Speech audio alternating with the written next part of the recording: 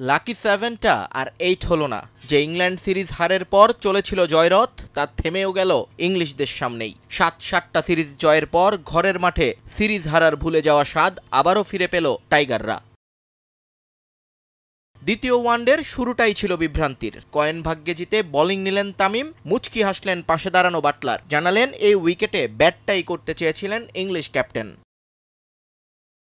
এরপর Jason Roy আর Phil Salt প্রতিটি শটেই বুঝিয়ে দিলেন মিরপুরের উইকেট পড়তে ভুল করেছে স্বাগতিক ম্যানেজমেন্ট। পরে সল্টের সঙ্গে আগের ম্যাচের সেঞ্চুরিয়ান দাউদ মালান এবং জেমস ভিন্সকে ফিরিয়ে আশা দেখান তাইজুল এবং মিরাজ। যদিও এরপর আর কোনো জারিজুরি কাজে লাগেনি টাইগার বোলারদের।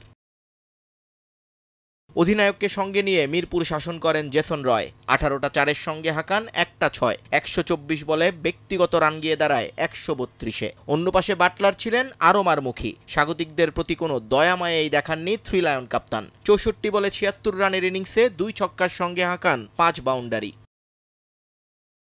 তবে এরপরও ইংলিশদের তিনশোর নিচে আটকে রাখা যেত যদি বোলাররা ছন্দ ফিরে পেতেন, কিন্তু সেটা হয়নি। মঈন আলী মোটামুটি ধীরে সুস্থে এগুলেও ঝড় বইয়ে দেন স্যাম কারান। একশো সত্তর স্ট্রাইক রেটে ব্যাট করেন এই অলরাউন্ডার। ফলাফল, মিরপুরে বাংলাদেশের একশোতম ওয়ানডেতে টার্গেট দাঁড়ায় তিনশো সাতাশ।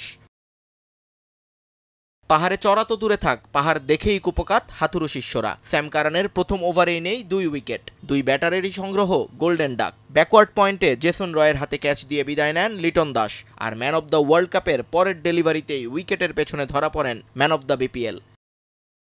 হ্যাট্রিকটা আটকে দিলেও মুশি টিকেছেন সাকুল্যে পাঁচ বল। এই উইকেট পতনে হয়তো কিছুটা খুশি হয়েছিল মিরপুরের জ্যাম্প্যাক গ্যালারি। সাবেক দুই বন্ধুকে যে এবার দেখা যাবে ক্রিসে হলো তাই তামিম সাকিবের দায়িত্বশীল ব্যাটিংয়ে এগুতে থাকে বাংলাদেশ। পাওয়ার প্লেটা দেখে শুনেই কাটিয়ে দেন তারা। একাত্তর বলে আসে তাদের পঞ্চাশ রানের পার্টনারশিপ। কিন্তু আস্কিং রান রেটের চাপে বেশিক্ষণ আর টেকা হয়নি তামিমের। পঁয়ষট্টি বলে পঁয়ত্রিশ রানের এক ইনিংস খেলে বিদায় নেন অধিনায়ক। ভাঙে একশো এগারো বলে উনআশি রানের জুটি। সঙ্গী হারিয়েও অবিচল ছিলেন সাকিব, কিন্তু ব্যক্তিগত ফিফটির পর টেকেননি তিনিও। আদিল রশিদকে মারতে গিয়ে ধরা দেন কারানের হাতে।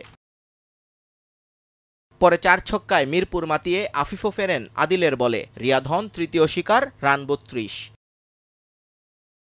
পরের ব্যাটাররা চেষ্টা করেছেন পরাজয়ের ব্যবধান কমাতে, তবে সেটাও পারেননি খুব বেশিক্ষণ। শেরে বাংলার দুইশতম আন্তর্জাতিক ম্যাচে স্বাগতিকদের পরাজয় একশো বত্রিশ রানে। নিয়ন মোহাইমিন, সময় সংবাদ, ঢাকা।